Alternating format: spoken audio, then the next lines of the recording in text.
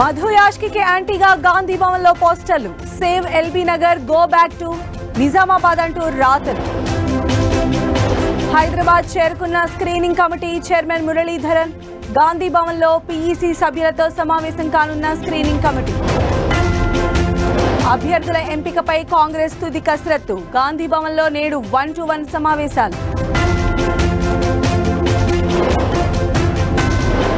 అభ్యర్థుల ఎంపికకు బీజేపీ దరఖాస్తుల ఆహ్వానం. ఆరు రోజుల అప్లికేషన్ స్వీకరించనున్న కమలం పార్టీ తెలంగాణలో మరో రెండు రోజులు భారీ వానలు. మహబూబ్ నగర్ జిల్లాలో పదహారు సెంటీమీటర్ల వర్షం.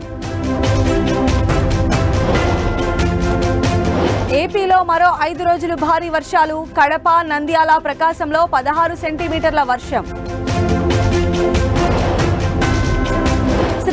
సాగర్లోకి భారీగా చేరుతున్న వరద ఒక వెయ్యి తొంభై అడుగులకు చేరిన ప్రాజెక్టు నీటి మట్టం.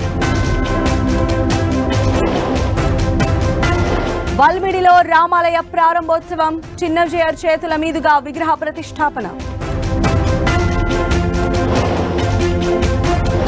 ఆర్టికల్ త్రీ సెవెంటీ రద్దుపై సుప్రీంకోర్టులో విచారణ నేడు.